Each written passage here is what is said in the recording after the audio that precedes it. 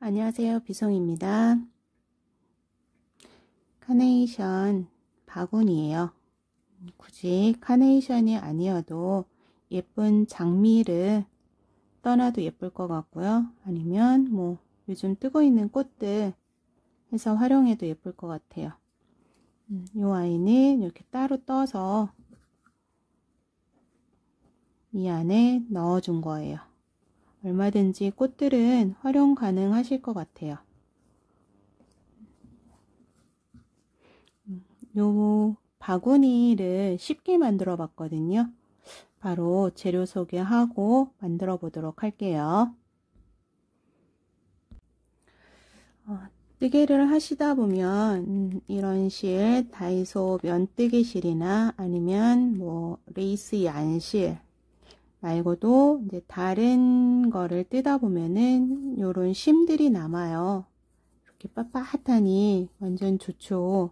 근데 대부분 음, 그냥 버리게 되거든요. 아니면 뜨개로 이 부분을 뜨자니 너무 힘들고 해서 재활용하는 방법들은 아시지만 대부분 버려지게 되는 것 중에 하나예요. 음, 그런데 이렇게 바구니로 활용하면 음, 저희는 이제 뜨개를 할 줄 알기 때문에 예쁜 꽃들 얼마든지 활용 가능하시잖아요. 그래서 한번 만들어 봤어요. 어, 요 음, 심들은 구멍이 뚫려 있어요. 그래서 그대로 이제 요런 음, 박스 남는 박스들 많죠. 박스 같은 크기로 해서 오려주세요. 그대로 박스에 놓고 어, 볼펜으로 체크한 다음에 오리면은 이렇게 돼요. 이 부분도 어렵지 않죠. 그리고 이제 글루건 처리를 해 주셔야 되고요. 그 다음 이런 막근 제가 두께가 제가 쓰는 거는 한 3mm 정도 되는 것 같아요. 어, 2mm 활용하셔도 되고 3mm 하셔도 되고 이 막근을 감아주고 표현을 해줄 거예요. 바로 해보도록 할게요. 아, 혹시 이제 다이소 면실의 심이면 음, 높이가 달라요. 높이가 다를 때는 어, 두께감이 있어서 자르기가 쉽지 않을 거예요. 그럴 때는 먼저 칼집을 좀 촘촘하게 내준 상태에서 잘라주면은 좀 편하게 잘라져요. 칼집 내서 잘라주시고 일단 그 부분이 밑부분으로 가게 되면은 이제 깔끔하게 정리가 되겠죠. 그래서 높이는 얼마든지 음, 조절 가능하세요. 저는 이 높이로 해서 떠보도록 할게요. 이렇게 잘라 놓은 상태에서 이제 글루건 예열이 됐으면 먼저 이 부분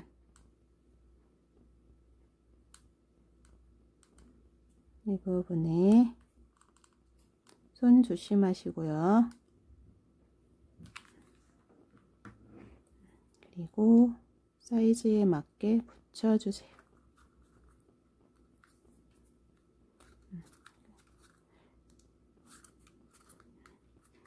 간단하죠? 그 다음 이제 어, 글루건이 굳을 때까지 조금 놔둔 다음에 아무래도 오리다 보면은 사이즈가 똑같이 안 오려, 오려졌을 부분들이 있어요. 저도 보면은 이쪽 부분 이런 부분은 어느 정도 굳었을 때 정리를 해주세요.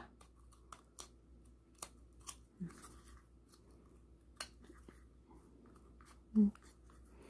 어느 정도만 해주시면 될 것 같아요.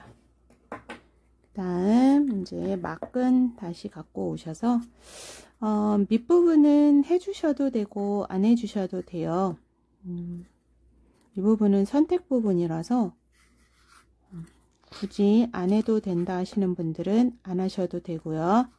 만약에 하고 싶다 전체적으로 이렇게 들었을 때 전체적으로 음, 이 부분이 보이는 게 싫다 하시면 저처럼 이렇게 해주시면 돼요 음, 가운데 부분에 먼저 글루건을 해준 다음에 우선 눌러서 손으로 하지 마시고 글루건으로 해주세요. 그리고 굳을 정도까지 조금 놔두세요.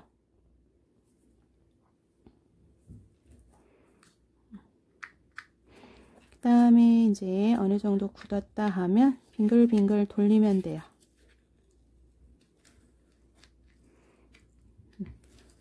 바닥 평평하게 하셔야 돼요. 일단 글루건 조금씩 조금씩 묻혀가면서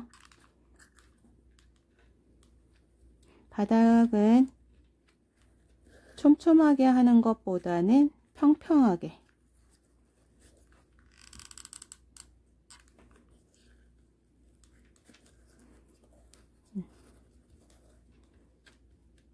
평평하게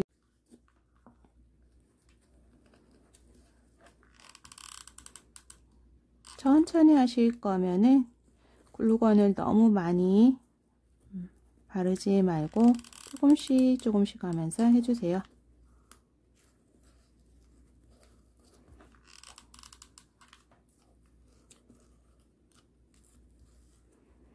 저는 한 면 다 하고 올게요. 저는 밑바닥은 됐고요. 이제 자연스럽게 위로 올라갈게요. 방법은 동일해요. 조금씩 붙여주고 돌리고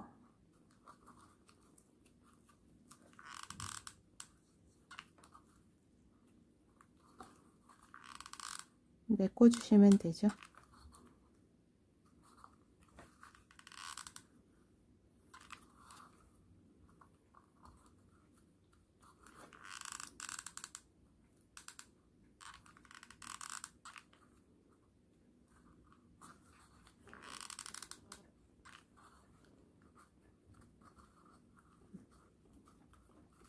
이제 옆면으로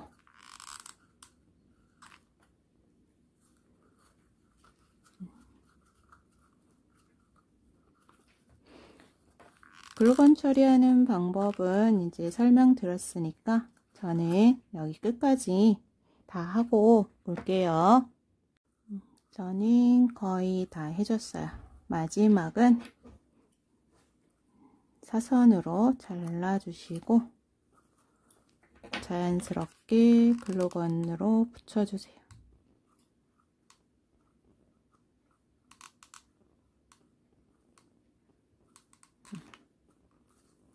해주시면 되고요. 음, 간단하죠. 어, 물론 뭐 처음 하, 하시는 분들은 어려울 수도 있어요. 그런데 음, 삐뚤삐뚤하게 하셔도 나름 멋져요.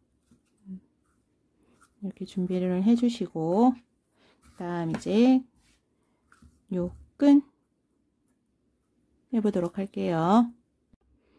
끈 길이는 음, 어느 정도 조절을 해보세요. 뭐 길게 하고 싶다든지 짧게 하고 싶다든지 해서 어느 정도를 해주시고 그거보다 조금만 더 길게 왜냐면 이제 꼬아줄 거거든요. 그래서 이제 이 정도 다 하면 이제 잘라주시고 글루건 아직 필요해요. 그 다음 이제 꼬아진 상태가 있죠. 지금 이거 같은 경우는 이쪽으로 꼬아졌거든요. 지금 이렇게 놓고 몇 번 꼬아주세요. 이렇게 꼬아주세요. 돌려서 그 다음 가운데쯤 잡고 꼬은 상태에서 가운데를 이렇게 놓으면은 여기 꼬아져요. 끝부분 조금 더 꼬아주시고 그래야 튼튼하게 되거든요. 다시 해볼까요? 꼬아진 상태에 보면은 이렇게 꼬아져 있잖아요. 이 상태로 한쪽에서 계속 돌려주세요. 돌려주고 이제 이 부분은 꽉 잡고 돌려주고 돌려주고 꼬은 상태에서 첫 번째 네, 같이 잡고 다음 가운데 부분을 이렇게 넣으면 이제 이렇게 꼬아져요. 어렵지 않죠? 그 다음 이제 안쪽에서 붙여줄 거예요. 먼저 이 부분 글루건으로 해서 어차피 안쪽이라서 보이지 않을 거잖아요. 그대로 음,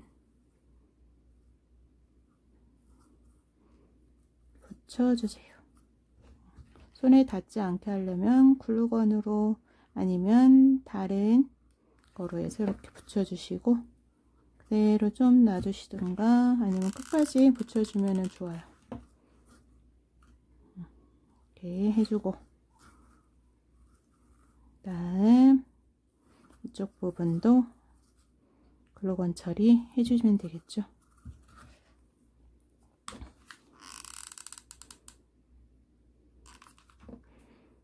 반대편 모양 잘 보시고 붙여주세요. 음. 어렵지 않죠? 그러면은 꼬인 데다가 두 줄로 됐기 때문에 자연스럽게 예쁜 바구니가 완성이에요. 이제 바구니는 쉽게 완성이 됐잖아요. 음, 음, 약간 도톰한 종이에 이런 문구를 쓰고 어, 하트나 뭐 예쁜 이니, 이니셜 이런 걸 써갖고 그대로 자연스럽게 오려주세요. 오린 다음에 마찬가지로 글루건 처리해서 붙여주시면 음, 예쁘겠죠. 본인의 글씨도 들어갈 수 있고 그래서 이 부분은 생략할게요. 원하시는 대로 하시면 되니까 음, 그리고 이제 요 카네이션 바구니 뜨는 방법이 있어요. 음, 물론 어, 요 바구니는 예전에 선인장 떴던 바구니라서 이제 이렇게 두는 것도 괜찮지만 음, 요 뜨는 영상은 오픈돼 있거든요. 그래서 카네이션 바구니 뜨기나 카네이션 뜨기를 하면 나올 거예요. 그래서 사이즈가 딱 맞더라고요. 제가 뜬 거로 해서 이 안에 넣으면 그 사이즈가 딱 맞아요.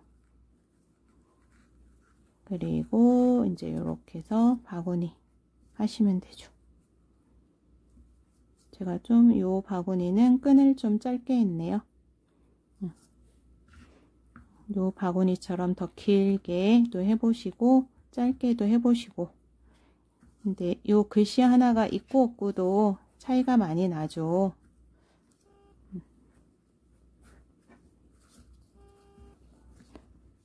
이렇게 해서 활용하시면 예쁜 바구니 만드실 수 있을 것 같아요. 어, 혹시 어, 이 사이즈가 좀 더 크다 하시면 요 늘리기 부분을 요 흙을 표현할 때 늘리는 부분을 더 크게 늘리세요. 얼마든지 하실 수 있죠. 뜨는 방법만 아시면 그 다음 이제 꽃을 뭐 저는 3개만 했는데 더 많이 해서 풍성하게 하셔도 될 것 같아요.